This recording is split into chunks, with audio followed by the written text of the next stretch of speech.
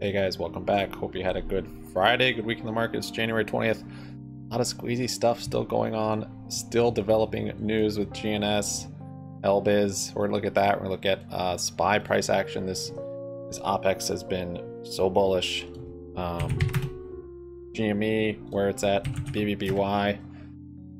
Um, the futures I keep averaging into. It's getting wild. Sub up, like up, comment down. Happy Money sticks around. You can follow us on Twitter at Happy Money YT, as well as Discord. Link for those are in the description. Um, we did a Twitter Spaces the other night. You guys all missed out; they weren't there. Um, there's our Twitter and our Discord. They're both free. Uh, today I was more bearish than this, but it being an OPEX and a big one, this is the biggest notational value expiration of options we've had in 10 years. So could expect big moves. The big move ended up being to the upside. We are still in SLD, but uh, I guess it, it, was outweighed by the options. Um, I'm not necessarily buying this rally, but uh, with how strong this is, I, I could see this being the beginning of another new high, another new uptrend, but I'm, I'm not quite there yet. Um, depending on how this closes. We've got about 30 minutes. This does close really bullish. Um, Monday could just be a big, because now the options have expired. There's a lot of capital that can flow around and push things fast. So could be could be a big gap on Monday and gap and go and breaking that 400 level and basically a short squeeze on the market again. Uh, I do have shorts on the futures and I'll show you guys what I did with those today. GNS went up crazy last night after hours. So we talked about this yesterday. I bought in, uh, bought in right here. Wait, where did I buy in? I have my VWAP. Uh, I'll show you guys what I did. So I bought in here, averaged in right here. I think I started with 500 shares here, or I got a thousand worth here, and I got 500 worth here, or 200 worth. I had about $1,200 exposure. It went up like 140%, I think, after hours. I don't know, something crazy. Um, learning more about it. I mean, I, I, like the story. I like what they're trying to do. Um, and yeah, I just I want exposure to it. So basically, I just held. Um, this is pr pretty good profit taking on today. Still up tremendously, up 58%. But uh, you have to imagine there's going to be a lot of momentum. Traders, swing traders, day traders that are going to ride this. So um, I do think this is probably some voluntary shorts that decide to start closing. And shout out to Subway Cup. He said it was from a tweet that the CEO mentioned a special dividend coming at 7.15 or something in the morning and that's what really initiated this. And then turns out all this news with them being a task force to basically go after the naked shorts and the criminals suppressing their, their share price via uh, naked shorting and all the different tools they use to suppress the price. So uh, to me this looks like voluntary closing mixed with some momentum trading and we'll see i mean they they're talking about a dividend they haven't talked any more about it. Special or special dividend, what it'll be, X dividend date.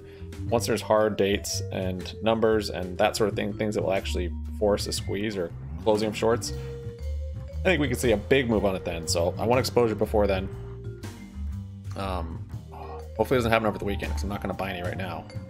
But anyways, uh, that could definitely force shorts to close, especially naked shorts. Um, but again, this I think was just voluntary this move so far. So to give you a little picture of what could come, like this is, this might be just nothing, right? This wasn't, I don't think this was a squeeze at all, but this was uh, 1100% from bottom to top there.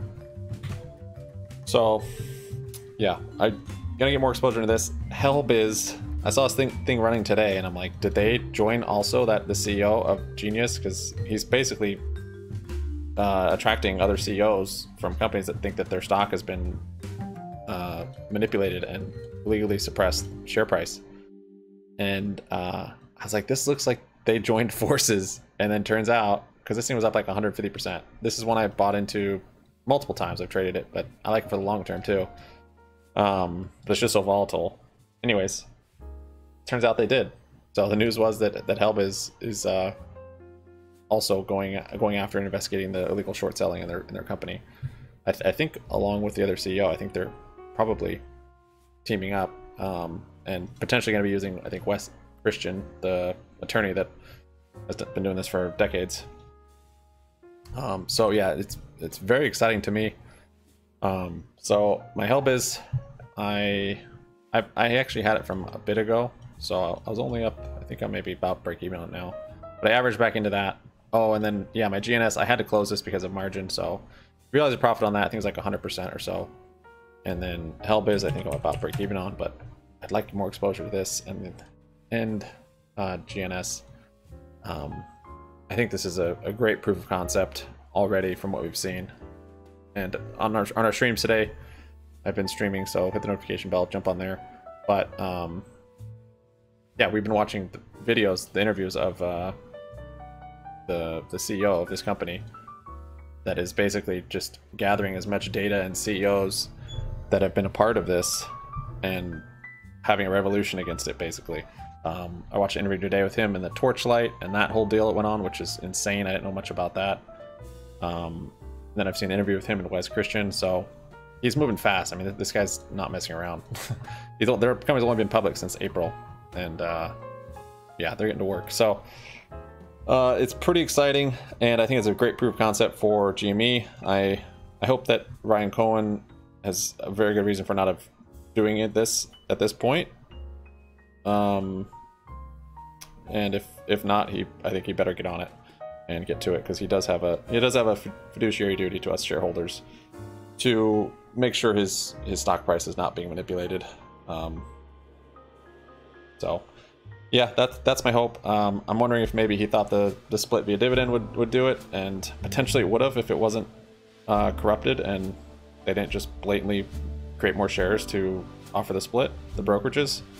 Um, I don't know. Maybe that was a failed attempt, but I think some more action needs to be taken. I don't know if he's on some sort of gag order or he has to be quiet or I, I we just we don't know, but I like what this CEO of G, GNS is doing and uh, so it's a great proof of concept for someone like Ryan Cohen to really get get behind his shareholders and try and uh, help out their investment because this is all we get from from our investment with GME is the share price. That's all we get.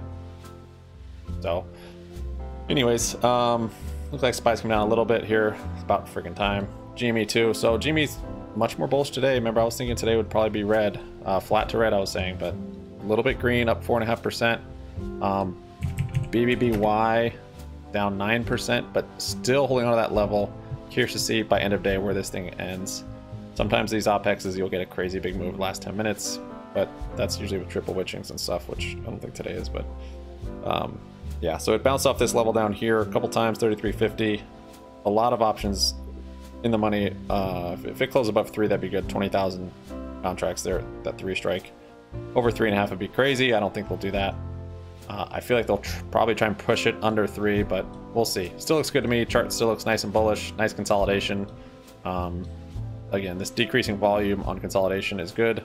The big volume with the rip up, decreasing volume, and I think it's prime for a move. Potentially starting next week or the week after. Maybe starting next week and then going going on for who knows how long. Depends on the, the gamma the gamma ramp that can be be built and what GME is doing, what the rest of the market is doing, and all that. Uh, GME, I, I still think is about primed to go potentially starting next week also. I was kind of hoping for like $17 today or Monday um, to go long. Not sure if we'll see that big of a move to the downside before move up. So uh, I did scale in a little bit more today. Still have a large amount of capital to go into shares for a swing, but I'm holding off because I think Monday yeah, I'd like to see what Monday brings. Um, but yeah, today GME was very weird actually. Very, very low volume and the strangest, most flat price action I've ever seen on GameStop. I've never seen this like this. And just no volume. Not sure if this has to do with all those deep out of money puts expiring or just, yeah, being a massive OPEX or what, but this was very unusual. Um, video will cut. I will end the video before the end of day, but there might be something crazy that happens end of day or even after hours uh, with with a lot of different stocks. So, um, yep, covered calls from yesterday on BBY. If you remember, I did close them today, up 80%. I don't, I, I don't, I didn't need to hold it for the last 20%, just in case it rallies. I think that was like $600 in theta from two days, which is awesome. so I'm out of that. Um, my cash secured puts on BBY I rolled over yesterday. I rolled those to February 3, and I was able to roll them down a strike to seven and a half. Um, so that's awesome. And then my cash secured puts on GME actually I closed. Let's see, those from today? Yeah, I closed them. No, I closed them yesterday. I was gonna open up more today, thinking it was gonna be red, but it wasn't. So I might just forego doing cash secured puts. It might just go straight to shares for a swing, um, depending on how Monday and Tuesday look. If Tuesday's getting volatile and it looks like it's we're gonna start ripping, I'll just go to shares. If it's kind of stagnant, low volume still, uh, I might just open some cash secured puts and ride some theta and farm while we wait. Uh, but yeah, here's the. So I, I, have a lot of capital in here ready to swing some GME shares.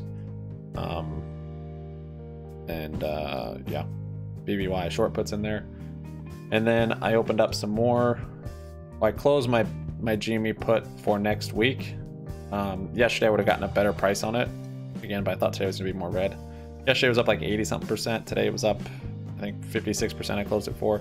Still not bad. Um, then open up some more puts next week for margin, 15 and a half puts. So if it does dump, I'll be able to make money on these, and then I'll just get some more for margin. For my Helbiz shares, I still have. They're only up six percent. Um, I did sell my uh, yeah my GNS. Um, let's see, what did I do today? Oh yeah, so I got I started getting some some calls today, call debit spreads on GME. I average into my February 3, 2022 30 call debit spreads. And there's the Helbiz shares. There's the puts. There's the sold Genius. Oh, and there's the puts I closed. I also closed my Carvana shares. I was down a little bit on it, did the cover call on it, but I just wanted to increase capital in this account so I can do some trading, I guess, and move stuff around. Um, so here's the 2230s that I opened up on GME. So max profit will be if GME is at 30 and by February 3rd, be 4200. Um, if we are getting a big move up like we did in March, like right here, which is 150%, um, that'd put us closer to 40. So I might get some more higher expectations of exposure. Does that make any sense? Yeah, I might get some higher higher exposure uh, next week, which would give me you know more max profit around 40 instead of 30, because the other ones the, the gains cap out at 30. So it'd basically just be my my short call would be closer to 40, like 40, and then maybe my long call would be up at like 23 or 24, um, or maybe I'll just get some long calls like 23 strike. Uh, yeah, so that's that. Oh, and then the futures. Remember, I had that the short ES MES from here we opened them right here yesterday. I was stoked. Opened up four of them. Thing came down. Was up like 1200 here, and then aftermarket. All this kept dumping. I think they're up like just over two grand here. Had four of them. We start bouncing, and then oh, no, yeah, that was yesterday. Never mind. That was two days ago. This was yesterday, and then today, OPEX, and we just rip. So, um, I was actually averaging into them today, but I'm not too sure with how bullish this is. We might have a a gap up and a rally on Monday. So I might get stopped out of it, unfortunately. But I did average up. And uh, I averaged right here was my first average. Right here. Saw it hitting that resistance and, and topping. I'm already way up on the play, so I'm fine to average on where I think would be the top, where I'm trying to time the top. Whereas normally if I'm opening a position, I'm not trying to time the tops or bottoms. I'm more looking at the top and then waiting for more confirmation. So some momentum to the right way. So I got one more contract here that I shorted rallied up, busted through there. Got one more here this resistance I thought could be a top. Didn't, busted through that and rallied. And then I got one more right here. That engulfing and that inverted hammer and and everything like that. So ended up getting uh I guess three, four, yeah, three more today. So now it's turning into like a, a normal sized ES. But that said, I mean the daily chart here, we haven't flipped bearish on the MACD. It's it's not super bearish we still have this kind of head and shoulders. Like I'm still thinking it's coming down, but I'm um, less confident. I was hoping this head and shoulders right here, head, shoulder, shoulder, and this thing kind of blew through it. Not to say couldn't you couldn't still say that's a head and shoulders, but uh, we did flip bullish on the MACD there. We got green over the nine on the hourly, so hourly this thing. I don't know if if it gaps. I mean, now that the options have expired, I, I can see it going either way, pretty pretty big. So little gap up, and I'll be closed out of these things, unfortunately. And if it does that, then it, it might just rip and break 400. if it breaks 400 and goes, like we're in a bear market rally. We'll probably get to that 408 in a hurry. Um, with all these little small caps moving, like that wouldn't move the SPY, but could move IWM. Could could have movement on on stuff. I don't know. SPY looked crazy today. So, anyways, here they are. I have seven of them now. I'm only up $451 on it. That so today down 1500 But since I averaged in at such such high prices, uh, if if SPY does come back down to these levels, uh, it'll be quite a bit more, about double what I had here. Not quite, but um, yeah, so that's how that works. That's what's nice because there's no there's no expiration, there's no theta. Like I can just average, and I have a stop limit to basically at about break even, and I can just keep averaging if I all the way up until it gets my stop, basically, which is a nice uh, nice opportunity. Cosmos Ripper Day looks like it's coming down. GNS is there. Yeah, that's what I got, guys. Have a good weekend. Jump on our Twitter if we do a Twitter Spaces. We'll see you on Discord. Peace out.